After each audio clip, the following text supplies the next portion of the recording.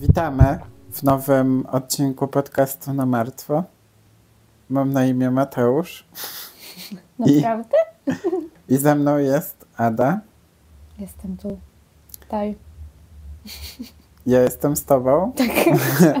Marcia. To miałam, to miałam na myśli. No, jestem tutaj, jestem z tobą. I e, zanim zaczniemy odcinek, to zapraszamy wszystkich na nasze Social media. social media i e, do komentowania, subskrybowania, Ty. udostępniania. Jak ten odcinek wyjdzie, to nie będzie przy, przypadkiem Spotify Wrapped? Ja myślałam, że powiesz mi, że jakaś, że Andrzejki chyba Też. bardziej niż jakieś Też. Spotify Ale Rap. ja e, inne święta jakby To jest celebruję. inne święto. No tak. Spotify. Tak. Cały rok na to czekam. Święto Spotify'a. Mhm.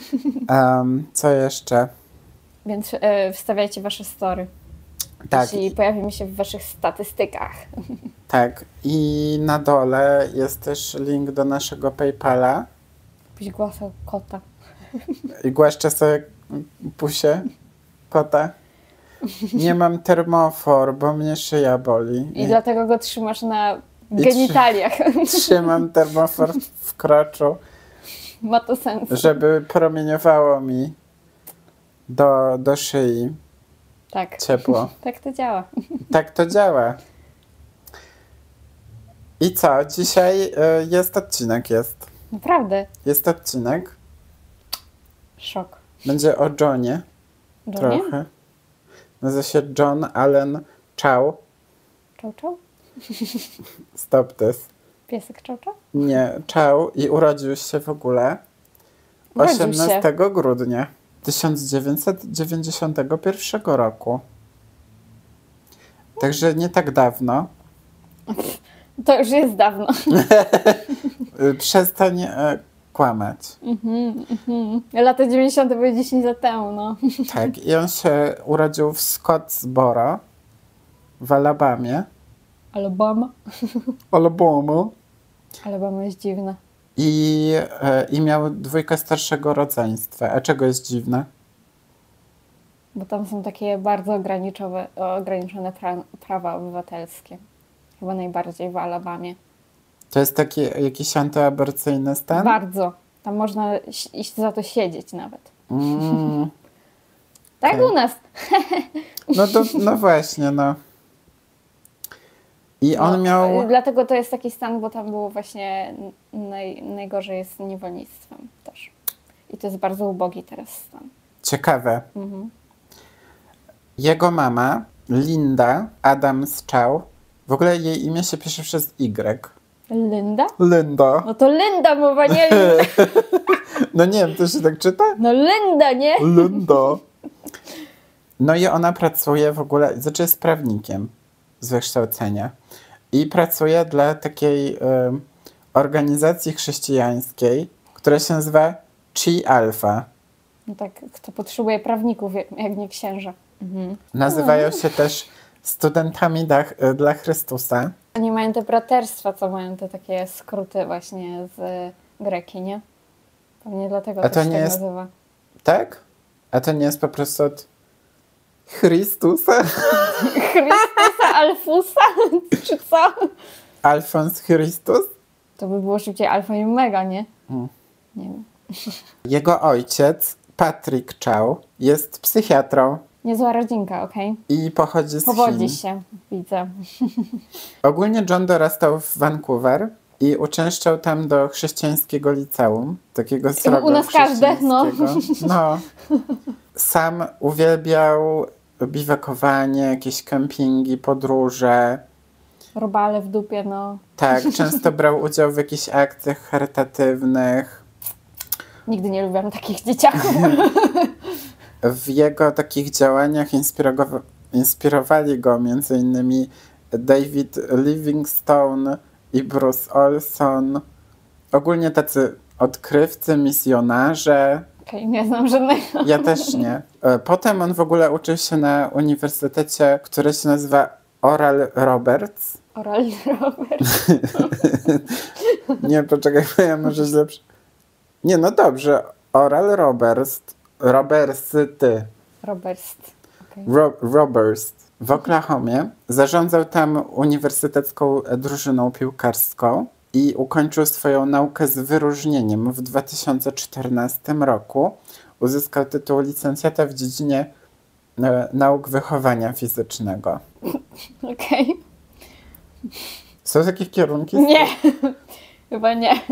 w Ameryce? Znaczy, bo to ja tak przetłumaczyłem, no bo to było takie wychowanie fizyczne, to co się on uczył. Bo No nie takie, wiem, żeby nas- być trenerem, coś w tym ASP, stylu. ASP, Boże, to Tak, ta druga ASP. szkoła. Ta druga szkoła. AWF, o. AWF. na myśli. A, WF. W 2017 roku pojechał na obóz. Taki chrześcijański, Okej. gdzie szkolili ludzi na potencjalnych misjonarzy. I prowadziła go organizacja ewangelicka o nazwie All Nations z siedzibą w Kansas City. Szkolenie obejmowało poruszanie się po pozorowanej wiosce tubylców, których udawał personel i oni mieli za zadanie jakby ich przekonać do siebie, a potem finalnie nawrócić, wiesz, ochrzcić i w Brzmi ogóle. to tak rasistowsko, że nawet nie chcę po prostu komentować. Y, Widzę tylko takich, nie wiem, księży przybranych w blackface'y i chodzących po tej wiosce i ci y, testują, jak się nawraca. Tutaj robię cudzysłów dzikusów, Mhm. tak? Jakieś spódniczki z y, trawy. No. Ja też tak czuję, że to tak wyglądało. No. Mm. Ogólnie się bawią, nie? tak. Ogólnie Johna to wszystko bardzo zainspirowało. No i wychowany był w wierze i w ogóle. Także teraz jakby miał taką nową misję, wiesz, kolonizacja w imię Jezusa, zbawienie przed piekłem, czy coś tam. Że ludziom się to jeszcze po dwóch tysiącach lat nie znudziło, to ja jestem Nie. w szoku. Nie. Brał udział później w misjach na terenie Meksyku, Południowej Afryki, e, Kurdystanu. I po powrocie z misji w Meksyku na jakimś tam przemówieniu e, cytował Pismo Święte według świętego Mateusza, oczywiście jedyne dobre. Żadne nie jest dobre, ale okej. I tutaj mam nawet fragment, no bo nie będziemy puszczać jak on to mówi, ja przeczytam. Dobrze. Idźcie więc i nauczajcie. Idźcie, bierzcie i jedzcie, chciałam powiedzieć. Idź, idźcie więc i nauczajcie wszyscy narody, udzielając im chrztu w imię Ojca i Syna i Ducha Świętego. Amen. Amen. Uczcie je zachowywać wszystko, co wam przykazałem, a oto ja jestem z wami przez wszystkie dni, aż do skończenia świata. Też tak ogólnie, że oni mają jedyną prawdę o świecie i wszystkich trzeba przekonywać do tego, Nie tak? mogę się doczekać, jak oni wszyscy Co? umrą do tej nicości, która ich czeka. No i też podróżował po Andamanach. I to jest taki... And the man. Andaman. E, To jest taki e, archipelag leżący na Oceanie Indyjskim. Są to takie wyspy górzyste, otoczone rafami koralowymi. W ogóle tak ładnie, nie? To nie tam, gdzie są trzęsienia ziemi cały czas. Tak. Tsunami, te sprawy. No, bo to na, natura chroni piękne miejsca, także przed Gęste ludźmi, lasy nie? tropikalne i w No, ogóle. No, ona tam nie chce ludzi, dlatego ona tam robi bum, bum, bum, nie? Tak, i tam no jest dużo takich ludów tubylczych i oni żyją sobie w rezerwatach. E, I też jest e, taki lud tam odizolowany całkiem od społeczeństwa. Zazdro. I w 2018 roku John stwierdził, że jego finalną misją będzie odwiedzenie Sentinelu Północnego i nawrócenie tam ludzi. Good luck. Jakby pokazanie im, że wszystko jest ok, bo Jezus zapłacił za ich grzechy, także Jezu, jakbym ja była takim człowiekiem, który żyje w izolacji i zobaczyła takiego Shakespeare'a, to Także you're going to be fine. Wiadomo. zrobiłabym z niego, nie wiem, płot. Albo kocyk. Ogólnie ciężka sprawa, bo udanie się tam jest zabronione Przez kogo? przez prawo. To pod jaki oni kraj podlegają? Indie. I wyspa jest strzeżona, Wojskiem? bo ludzie, którzy tam mieszkają, ci Sentinelczycy, to tak są odizolowani od społeczeństwa. Jest to takie plemię nietknięte współczesną cywilizacją prawie w żaden sposób, prawie. I, Brzmi jak szaleństwo normalnie, że na tej samej planecie No. mieszkają tacy ludzie, no. I ogólnie tak jakby dość wrogo reagują na jakiekolwiek odwiedziny. Nie dziwię się. John w swoim pamiętniku nazwał to miejsce ostatnią twierdzą szatana. No i ci No. Sentinelczycy żyją sobie sami, mają własny język, no jakby nie wiedzą o tym, że istnieje jakiś prąd, czy jakieś samochody, telefony, w ogóle No. nie mają o tym pojęcia. E, Przypuszcza się, że na wyspie żyje teraz tak między 15 a 500 tubylców. No Okej. to... Które są mnie na wsi. I ten północny Sentinel jest często nazywany miejscem, do którego nigdy nie powinno się podróżować. Że jest to najbardziej niebezpieczna, mordercza wyspa na Ziemi. O, nice. I To gdzie jedziemy na wakacje? Tak, właśnie tam, właśnie tam. I w 1863 roku, bo tak pogadamy sobie o historii trochę tego miejsca, pierwszy raz stało się tak, że pewien indyjski statek, on miał na pokładzie ponad 100 osób, w tym 20, y, 20 należącą do załogi, oni tam przez przypadek wkroczyli na teren tej wyspy. I przez dwa dni jakby tam siedzieli sobie tam na plaży i w ogóle chillera utopia, czekając na ratunek na brzegu, bo oni się po prostu rozbili na tej rafie koralowej. I trzeciego dnia tubylcy zaczęli strzelać do nich z łuków. Na ratunek przybyła do nich marynarka królewska i przy okazji, jak oni sobie tam przybyli, to zadekla- zadekla- zadeklarowano, że ta wyspa jest w ogóle częścią kolonii brytyjskich. No, oni wszystko zabierali co Tak, popadnie, więc... Dosłownie stopę postawił nasze, nie? I jakby ta wyspa miała tak spokój od tego 63 do 1880 roku, kiedy Maurice Vidal Portman przejął jakby nadzór nad tymi wyspami. Tym nie tylko Sentinelem, tylko nad tym wszystkim, co jest dookoła. I stwierdził, że czas w ogóle coś zrobić z tym Sentinelem. Nie? Że to nie może tak być. I ogólnie on miał taką obsesję na punkcie tubylców. Często ich porywał, Aha, mówiąc, że chce im pomóc jakby w asymilacji. Ale tak w sumie to tylko narażał ich na choroby i, i, i potem się okazało, że robił im zdjęcia nago, takie sesje zdjęciowe nagie. dopiero co aparaty wynaleziono, a ten już e, normalnie przestępstwa popełniał. Nie. I podczas pierwszej wyprawy wszyscy tubylcy się pochowali, jako ten Maurys tam e, popłynął. E, I jakby na tym się skończyło, że oni się tam przeszli, oni się pochowali i tam ten. No ale jak e, wrócili, to już e, tam doszło do zamieszek i Maurys porwał czwórkę dzieci i parę staruszków. Okej. Po prostu zabrał i elo, nie? I ci starsi ludzie zmarli. No bo nie byli. Młodzi. Raz, że nie byli młodzi, dwa, że nigdy w życiu nie byli narażeni na te choróbska, które my już mamy za sobą. Za sobą. Niektóre. Jeszcze plagi szalały.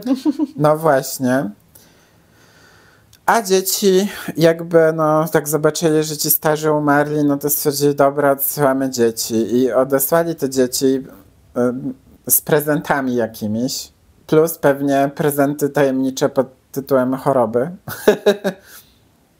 Ten ma tyfus, ten ma Tak. zapalenie płuc, Każdy z czymś nowym. może się zmutują, jakieś nowe. Mm, mm, mm.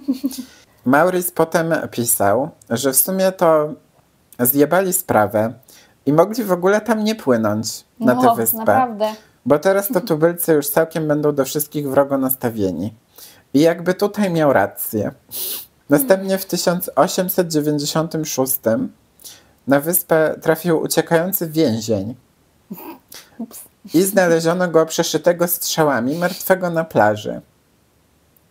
W 1947 roku Indie uzyskały swoją niepodległość, uzyskały albo odzyskały niepodległość. I później w 1956 roku wprowadzono prawo, które zakazywało zbliżania się do wyspy. Tak, Dobry pomysł. Tak, tak, żeby w ogóle tam się nie zbliżać i trzeba zachować minimum 10 km odległości od nich. Mogę taki mieć zakaz zbliżania się dla wszystkich? Tak, na wyspę. 10 km? Jak kupisz sobie wyspę, to sobie. Zawsze chciałam kupić wyspę. Kiedyś nawet robiłam research i są takie wyspy, na które byłoby mnie stać. O. Bardzo małe wyspy w bardzo zimnych warunkach, ale, ale wyspy. Akurat dla ciebie. W 1960 roku jednak e, jakby stwierdzono, że no, no nie można ich tak zostawić, więc w imię nauki stwierdzono, że trzeba wrócić na wyspę. Grupa antropologów e, z ochroniarzami przypłynęła sobie tam. Udało im się nawet dojść do obozowiska Sentinelczyków, tak weszli w lasy tam, w głąb. I tam zobaczyli sobie jakieś domki, znaczy domki, szałasy i tak dalej, i tak dalej. I wrócili wszyscy szczęśliwie, a po drodze w ogóle ci antropolodzy to zostawili prezenty.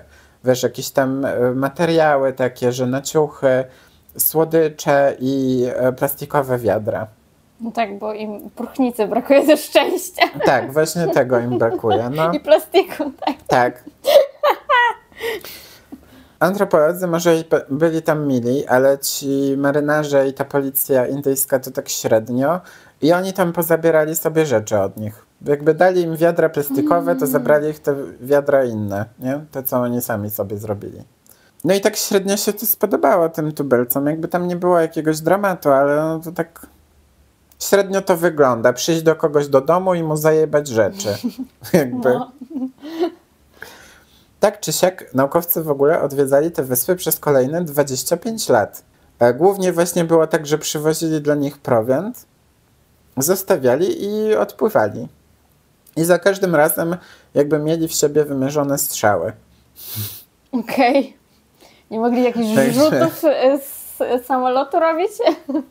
Raz w ogóle popłynęła tam z nimi grupa z chyba National Geographic i kamery to było za wiele dla nich. To już był za duży sprzęt po prostu. Wyobrażasz sobie, jak nie wiesz, co to jest? I zaczęli już wtedy z nich strzelać by, po prostu. Oni pewnie myśleli, że to jakieś UFO. Mm. W 1975 roku król Belgii Leopold III wybrał się na wyspę i jak zobaczył wymierzone w ich statek e, łuki, podskoczył podekscytowany i wrócił. I w ogóle to mówił, że to był najlepszy dzień w jego życiu. Ktoś tu jest adrenaline junkie, to chyba może sobie skoczyć na bungee następnym no. razem.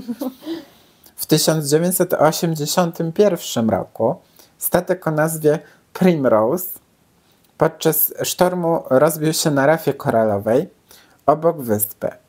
I tubylcy wyszli im na przywitanie z łukami. I mieli jakieś inne też bronie, takie zrobione. Już zaawansowane. Tak, już takie, wiesz, noże, coś tam. No lata 80. są w końcu. No. I załoga była przerażona. I pisała tam, znaczy pisała, jakby, nie wiem jak oni to robią, dzwonią czy co. Pisali tam do bazy w Hongkongu, że w ogóle to dramat jest i może nie przeżyją. Ale jakby była burza, no dlatego oni się wyjebali w tą rafę. E, więc i Sentinelczycy też mieli jakieś problemy, żeby tymi swoimi e, kajakami, co sami zrobili, przypłynąć do nich, więc to ich uratowało, tylko tak na zmianę strzelali w siebie, nie? Okej. Okay. Ci ludzie ze statku tam racę puszczali do nich, a oni puszczali strzały, nie? I nikt nie umarł. No. Domyślam się. Tak, ale wrak statku dalej widać na zdjęciach satelitarnych, także można sobie tam zobaczyć. No ja na pewno nie będę oglądać. w 1991 roku antropolodzy dalej przypływali na wyspę E, tym razem stało się coś niespotykanego wcześniej, bo tubylcy wyszli do nich przywitać się i własnoręcznie odebrali prezenty, tak z ręki do ręki.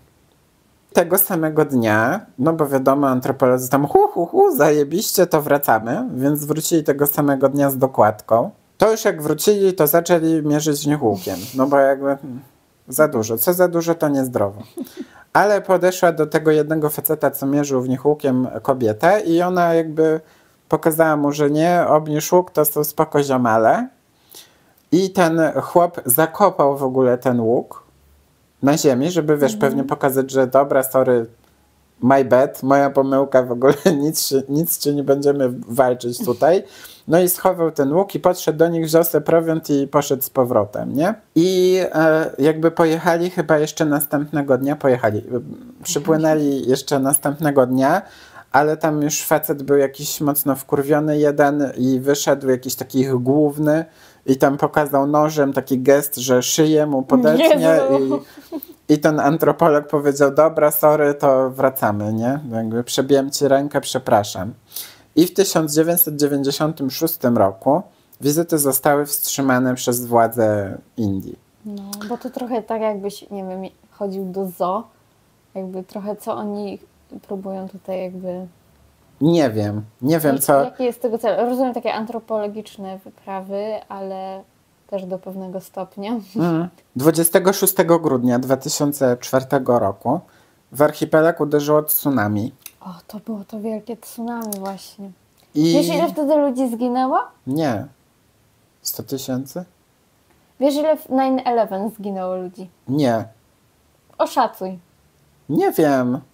No mówię oszacuj. W jakichś setkach? No w setkach, no. 500? 2000 ponad. Okej. Okay. No ale wszyscy pamiętają 9-11. No. Czy ktoś pamięta o tym tsunami, które ćwierć miliona ludzi zabiło? ćwierć miliona! Słyszycie? Ćwierć miliona. No. Ćwierć miliona. Ja pierwszy raz o tym słyszałam dwa lata temu. Mm. no jak się to działo, to nikt o tym nie mówił. Wszyscy mówią o Iraku. Media. I jakby stwierdzili, że sprawdzą, czy tam u nich wszystko jest ok po tym tsunami. No. No bo... No, ćwierć miliona. No właśnie. Więc puścili tam helikopter. I jak e, Sentinelczycy zaczęli rzucać dzidami w ten helikopter, to stwierdzili, że wszystko jest ok, zostawiamy ich, żyją, jest dobrze. Tsunami ich nie pokona. Tak. Mają strzały. Strzelali w wodę. Słuchaj, poradzili sobie. W 2006 roku dwóch rybaków zasnęło na statku i dopłynęli na wyspę. Ups. Tubylcy ich zabili i zakopali na plaży. Wyobraź to sobie, zasnąć na statku i budzisz się, to jest po prostu jak z filmu jakiegoś sytuacja. Pewnie był jakiś taki film. Zagubieni? No. No oni nie zasnęli, ale... A może? No. Sen, ha? Nie Oglądaliście Zagubiony? W ogóle próbowano odzyskać te, te zwłoki, nie? Żeby do rodzin oddać, ale to nie, nie wyszło. Mm -mm. Ogólnie jakby zostawiono ich tam samym sobie. Mm, może i lepiej. Tak, ale to też jest głównie przez doświadczenia tak naprawdę z innymi plemionami. Ciekawe ile jest bo... plemion jeszcze w ogóle na świecie. Są takie miejsca, gdzie nawet człowiek nie dotarł? Chyba, chyba ponad 40 jest, jak, mm. albo więcej. Wiem, że, że kiedyś tam no cały właśnie... czas jakieś nowe, y, tak naprawdę jakieś wysepki odkrywają, ale pytanie, czy to są nowe wysepki odkrywają, czy one się odrywają od lądu, no bo co, co ile jakby robią update mapy świata, nie? Mm. No, że co, codziennie tak naprawdę się zmienia planeta, nie? Zaraz odczepi się ta czapa lodowa i tyle, nie? Będzie milion nowych wysp. No jak? Albo będzie Pangea, będzie wszyscy na jednej. No jak? To by było spoko.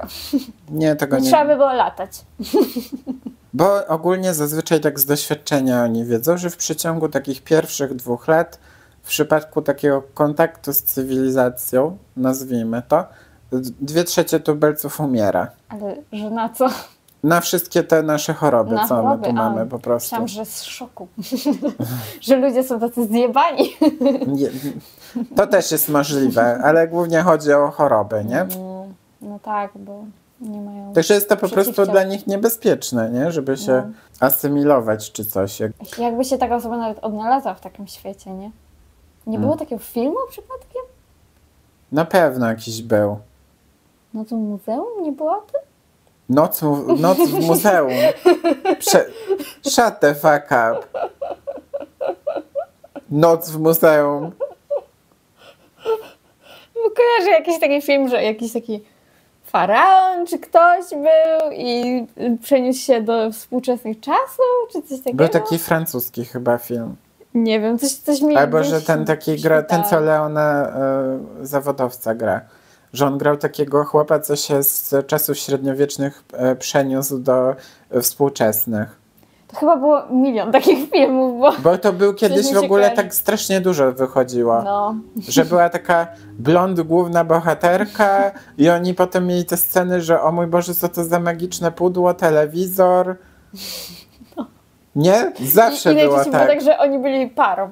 Tak, tak. Tak. I musiała być jakaś dziwna scena ze sraniem.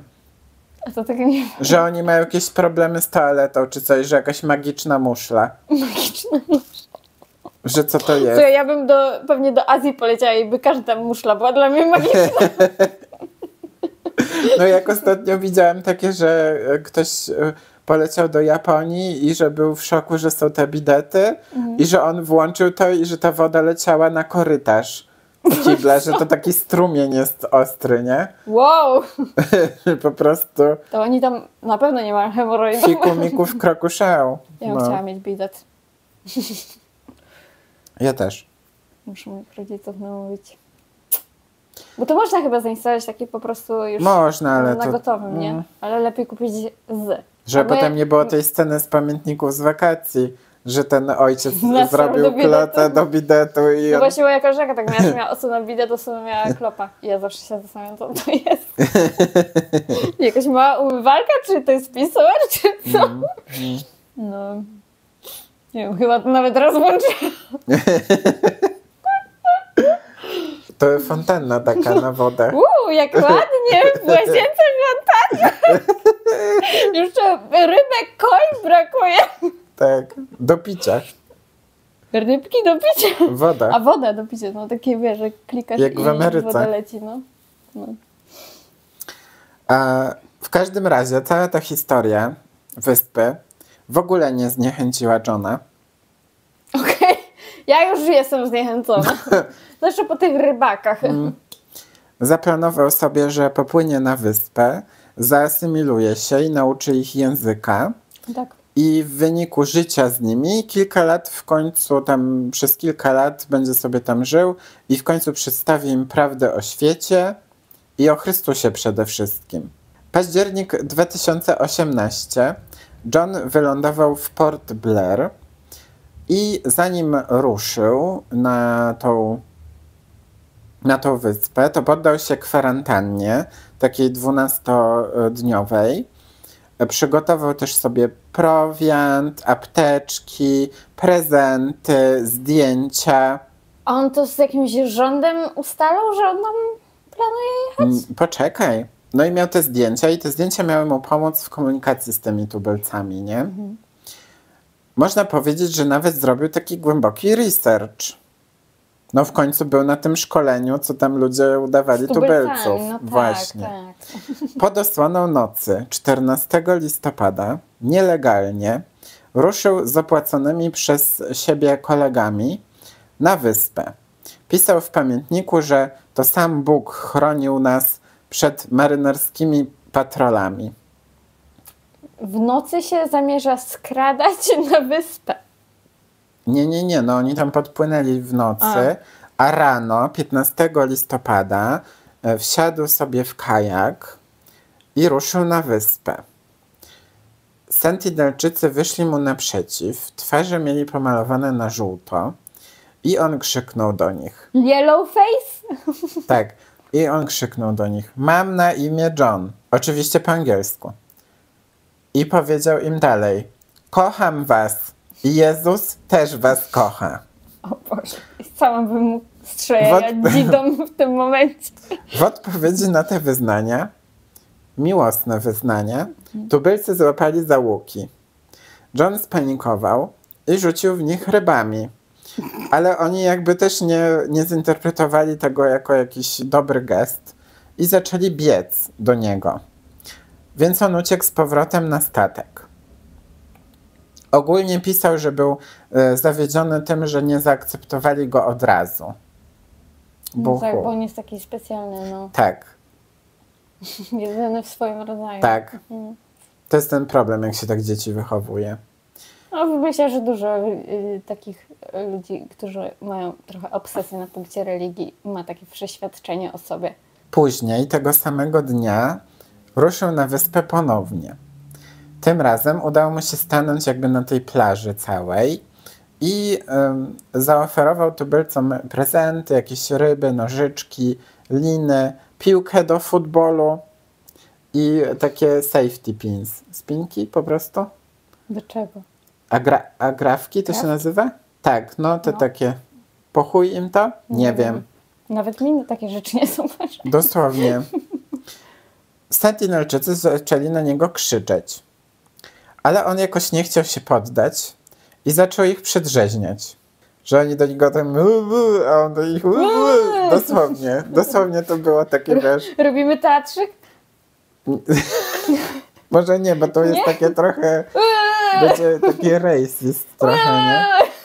Ale można, są takie filmiki na YouTubie i oni rzeczywiście tak, no tak trochę to brzmi, nie? Takie... No, jak nie znasz języka jakiegoś, to on ci brzmi jak bełkot. Zawsze, No. nie? I oni stwierdzili, że Boże, jaki debil, co on tam pierdoli w tym naszym języku. Zaczęli się śmiać. No bo pewnie powiedział jakieś tam, wiesz... Nie wiem, co mógł powiedzieć. Jarzem John. No, no tak na pewno Nie kocham was. Jezus was też nie kocha. Tak. No i John wyjął Biblię i zaczął śpiewać. By. A- Ale cringe! A tubylcy w ogóle tak trochę zamilkli, nie? W międzyczasie zablokowali mu dostęp do kajaka, no bo jakby śpiewa jakiś wariat, No. zajebmy mu łódź, nie? I jeden z dzieciaków strzelił w niego z łuku i trafił w trzymaną przez niego Biblię. Skandalicznie. Że on tak Biblię tą trzymał gdzieś, wiesz, w ogóle przy sercu i on celował tam i on się wbił. Tak przynajmniej John pisał, ale czy rzeczywiście to było aż tak dramatyczne? Nie, to było symboliczne, nie? Tak, to był taki właśnie, że Biblia go obroniła. Mi się Mhm. wydaje, że trochę no, mm, mm, koloryzowane, ja bym to powiedział. No i John uciekł. Wpław na statek, bo, bo nie miał dostępu do kajaku. Potem w pamiętniku, tak, bo zdjęcia pamiętnika też są dostępne, e, tak się trochę handlował z tym Bogiem, tak targował się, że mówił mu, że w sumie no okej, mogę zginąć, ale chyba będzie ci lepiej, bo bardziej się przydam na nie ziemi. ma to jak szantaż emocjonalny z Bogiem. Tak, w pamiętniku. tak. Dosłownie. I on takie, no jak muszę, albo jak mam ucierpieć, albo coś tam, to okej, ale tak w sumie to bym się bardziej przydał na ziemi, także hear me out on this one, nie? Ten to ma ego. Ogólnie pisał tam, że też nie chce być martwy, że nie chce No umrzeć. co ty? i zastanawia się nad tym, czy nie powinien jednak wrócić do domu O. i dać pole do popisu komuś innemu. Takie próbowałem, może niech ktoś inny to Pierwszy dobry podejmie, pomysł ma. nie? Następnego ranka napisał w pamiętniku wiadomość dla swojej rodziny, w której mówi, że jeśli umrze, to nie powinni oni winić tubylców i to wszystko jego decyzja. Jakby totalnie się z tym zgadzam. 16 listopada ruszył ponownie na wyspę. I gdy załoga wróciła po niego 17 listopada, zobaczyli taki obraz z horroru, jak oni go ciągają tam, to jego ciało po tej plaży, nie? O my God. No i przypuszcza się, przynajmniej tak mówią, że zginął od strzały. No, ciekawe od czego innego. E, Wszyscy ludzie, którzy pomagali Johnowi, zostali oczywiście zaaresztowani, no bo to jest nielegalne, w ogóle nie wolno tam być. Sentinelczycy oczywiście nie zostali pociągnięci do żadnej odpowiedzialności, no bo nie powinni. No oni tam sobie żyją we własnym wieku. Chociaż są różni ludzie, więc wiesz. E, Rodzina Johna na jego koncie na Instagramie napisała, że e, nikomu nie mają za złe śmierci syna i że są świadomi tego, że zrobił to wszystko z własnej woli. To był Tak w skrócie. tyle, nie? Tak, tak skrótowo, bo nie będę tłumaczyć całej wypowiedzi. I ogólnie chrześcijanie, może nie wszyscy, ale w szczególności ludzie z organizacji All Nations, a w ogóle ta pani przewodnicząca ich, bo ona też na wywiady do telewizji, gdzie by się nie dało, ona z tym Słuchaj, poszła, Fame musi się zgadzać. okrzyknęli go męczennikiem. No nie mów, że jest świętym. Nie, chyba. E, Który nie chciał, bo oni tak tłumaczyli, że on nie chciał sprowadzić chorób na ludność wyspy, tylko chciał uleczyć ich z grzechu poganizmu, pierworodnego. no- no tak. No, No tak. właśnie. Ojciec chłopaka ma na ten temat trochę inne zdanie i jak wypowiadał się w jednym z wywiadów, to powiedział do jednego z dziennikarzy, cytuję, jeśli masz cokolwiek pozytywnego do powiedzenia o, reli- o religii, to nie chcę o tym słyszeć. Koniec tematu. No. Jeden, Ile, ile chrześcijanie mają na swoim koncie ofiar? Polowanie na czarownice, krucjaty. Religia jest bardzo śmiercionośna, Mhm. bym powiedziała. I jeden z antropologów, który uczestniczył w, nau- w tych naukowych wyprawach na wyspę, on się nazywa T.N. Pandit. Bandit? Pandit. Bandit. przez ny, powiedział, że Sentinelczycy to ludzie lubiący i zachowujący pokój, którzy nie napadają na okoliczne wyspy, a sytuacja związana z Johnem to po prostu czysty przypadek, nie? No i tyle. No ale nie wiadomo, może on zaczął się agresywnie zachowywać wobec nich, tak? Z pretensją, że nie rozumieją jego angielskich słów o Bogu. No właśnie. Dodał ogólnie, że ludzie powinni szanować to, że tubylcy chcą być pozostawieni samym sobie. Jak każdy człowiek na tym, Właśnie. na tym świecie, tak? Właśnie. A, ale nie da się, nie da się, nie, nie ma spokoju, po prostu nie ma ani chwili wytchnienia. Nie prostu ma. Nie ma. Nie ma. Nie ma. No i koniec, cały czas, cały czas, tylko coś tłukło i bu. Bu, bu, bu, bu, bu. Tak. No dokładnie. I ucichło. O północy, jak przestały tramwaje jeździć. No. Ciało Johna w ogóle oczywiście zostało, tam nie, nie zabrali go. Ponoć tam widziano, że oni tam niby go strzegą i tak dalej w ogóle, ale to mi się wydaje, że to jakiś bullshit jest. No nie? pewnie go zakopali tak jak tamtych, nie? No, znaczy tamtych w ogóle zakopali, a zapomniałam powiedzieć, bo oni go zakopali, tych dwóch, a potem ich wyjęli na jakieś takie bambusy, powiesili ich chyba, żeby pokazać, bo oni próbowali... Ja żartowałam z tym płotem nie, wcześniej. no bo właśnie oni próbowali chyba pokazać, że to już nasze jest, nie, Mm. nie ruszajcie. Że taki odstraszacz. Tak, tak, że wy, wy tu No. nie przychódźcie, bo tak skończycie, nie? Coś w tym Ma stylu. to sens. No, ale tak właśnie tak pomyślałem, że tak fajnie będzie, jak ja przedstawię całą historię tej wyspy i potem y, wszyscy zrozumieją, jak dobrą decyzję podjął John, No bardzo udając dobrą. się tam, bo to jakby nie są jakieś to, I to jeszcze tajemne kuźwa informacje. millennials, jak, jaki wstyd przynosi mojemu No. pokoleniu. No, a on nawet taki niebrzydki był. A co to ma za znaczenie? Zawsze szkoda, jak ktoś nie jest brzydki. Wow! Wow! Może już skończę. nie no, żartuję. Jakie mamy pytania dla ludzi? Może na jaką wyspę chcielibyście się udać? Tak, na jaką wysp- o jakiej wyspie marzycie, żeby, Tak. żeby tam po, Ja pojechać? chyba już polecieć? mówiłem, że chcę na Bali. No, Jaka jest jeszcze? Hawaje? Hawaje? Hawaje są ładne. W ogóle te takie wyspy Ja w ogóle właśnie byłem z tej tylko e, na- oceanii to są najładniejsze chyba na Mm. świecie, więc ja nie wiem, czy byłam kiedykolwiek na jakiej... W Wielkiej Brytanii byłam! No właśnie, ja, właśnie ja też tak chciałam powiedzieć. Do Japonii, o. O, to też wyspa, no tak, no tak.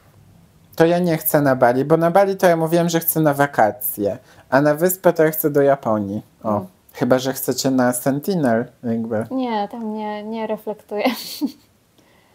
W ogóle bym się bała w tamte tereny, bo tam jest tak, że jak ma być tsunami, to, to tak Z dnia na dzień nawet Mm. może być.